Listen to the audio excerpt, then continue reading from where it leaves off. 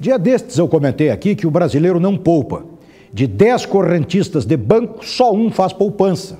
Isso explica o Brasil e as dificuldades dos brasileiros. Agora, hoje, tenho acesso a uma pesquisa feita pelo HSBC, banco, em 15 países. E o brasileiro está na frente na expectativa para se aposentar mais cedo. A brasileirada quer se aposentar, segundo a pesquisa, em torno dos 46 anos no mínimo 10 anos antes daquilo que é razoavelmente esperado e decente. Mas como é que um cara se aposenta aos 46 anos? Com que recursos? Com que qualidade? E tem uma outra pesquisa comigo que diz que de uma empresa, seja a empresa que for, apenas 30% dos seus funcionários estão envolvidos, engajados e seriamente comprometidos com o trabalho. 30%.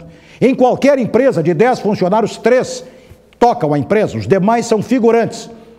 Que tipo de gente é esta que quer ganhar bem, ser bem tratada dentro da empresa, mas se aposentar aos 46 anos? Isto tem um nome: vagabundagem, vadiagem, safadeza, falta de vergonha na cara. É isso. O cara quer se aposentar aos 46 anos, ganhando bem, amarrando o burrinho na sombra. Vai fazer o que depois disso? Não tem poupança? Como é que faz?